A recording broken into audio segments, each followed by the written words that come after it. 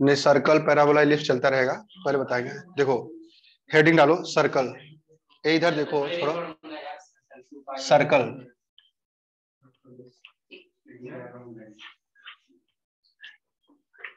ठीक है। सर्कल क्या होता है? सर्कल का मतलब होता है that is a locus of point हाँ। Locus of point which is equidistance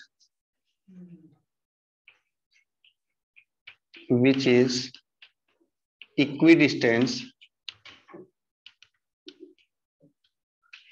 from fixed point from fixed point ठीक है तो अब मान लीजिए कि ये आपका फिक्स पॉइंट हो गया है ना ये फिक्स पॉइंट हो गया और यहाँ से क्या करना है हमें? इक्वल डिस्टेंस पे सारे पॉइंट कलेक्ट करने हैं। तो यहाँ से अगर मान लीजिए कि 10 सेंटीमीटर ले लिया आपने तो ये कोई एक पॉइंट होगा।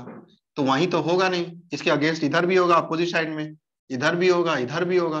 तो इवन अगर ये सारा पॉइंट अगर हम डॉट डॉट ज्वाइन करें तो ये पूरा क्या हो जाएगा? एक सर्कल आ जाएगा।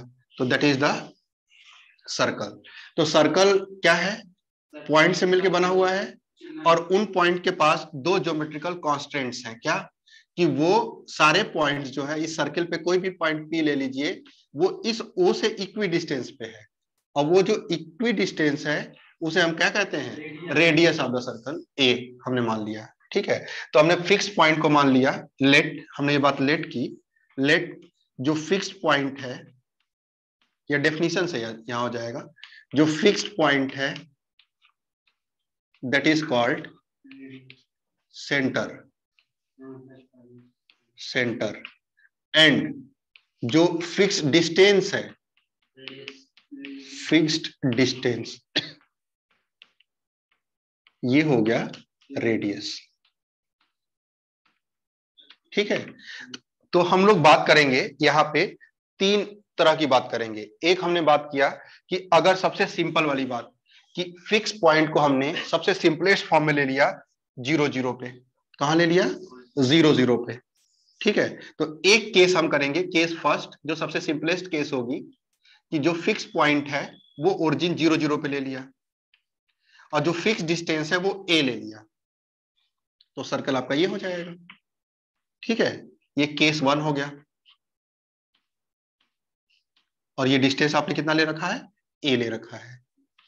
और दूसरा केस हम लोग देखेंगे कि हम लोग स्पेस में कहीं भी ले लेंगे अरे प्लेन में कहीं भी ले लेंगे सो so, सपोज़ ये एक्स एक्सिस है ये वाई एक्सिस है। हमने कहा कि जो ये फिक्स पॉइंट था ये कोई एच कॉमा के ले लिया हमने एच कॉमा के ठीक है अदर देन द ओरिजिन और सर्किल की साइज़ वही रखी साइज़ का मतलब रेडियस वही रहा रेडियस ए रहा। अब हमें ये दो सिचुएशन पढ़नी है ये केस टू हम कह दिए। केस टू ज़्यादा जनरल है और case two become case one जब एच ज़ीरो हो जाए और के भी क्या हो जाए? ज़ीरो हो जाए। तो केस टू ही केस वन बन जाएगा। लेकिन सबसे पहले हम लोग सिंपलेस्ट केस की बात करते हैं, है ना? तो हमने कह दिया कि इसमें हमने क्या लिया है कि फिक्स पॉइंट मतलब सेंटर क्या हो गया? Zero zero. तो हमने कह दिया let centre zero zero and radius and radius क्या हो गया? ए हो गया।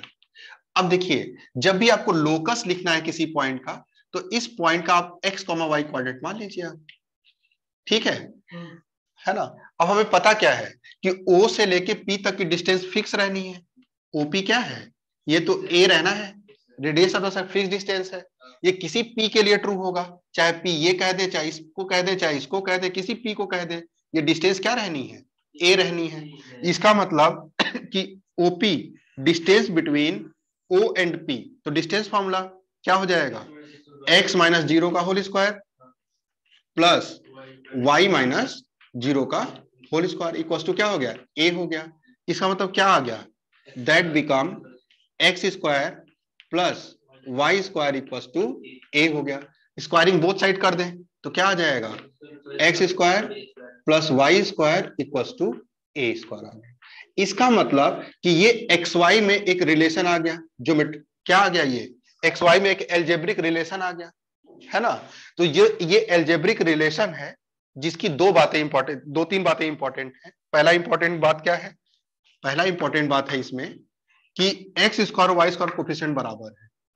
कोफिशियंट कोफिशियंट ऑफ़ दिखता नहीं है coefficient of x square equals to coefficient of क्या है? वाई स्क्वायर है। समझ आ गया? दूसरा इंपॉर्टेंट बात क्या है?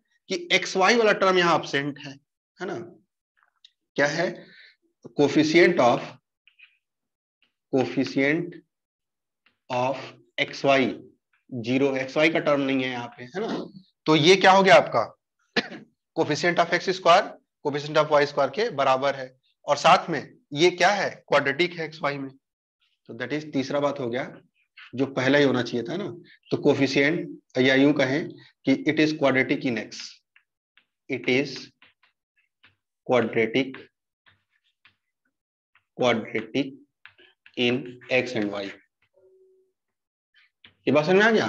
तो हमेशा आप सोचोगे कि जब इस फॉर्म में इक्वेशन आएगी x square plus y square equal to a square तो पहला, उसका ज्योमेट्रिकल नेचर क्या हो जाएगा?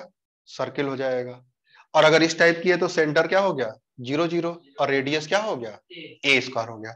अब मान लो कि हमने कह दिया कि एच कॉमा के पे है।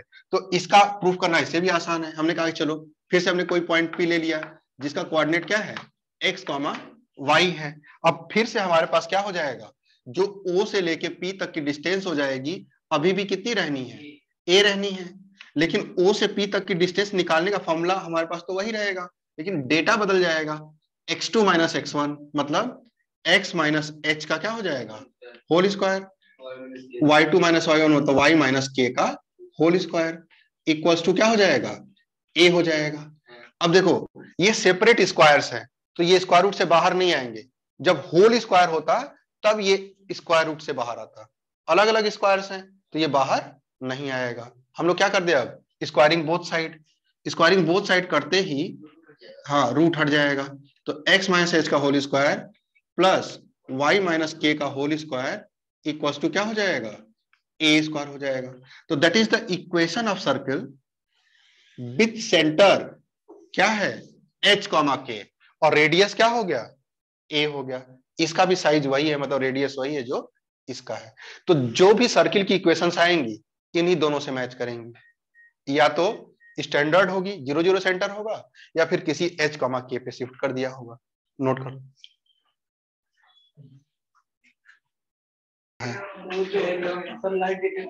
ला अब प्रोग्राम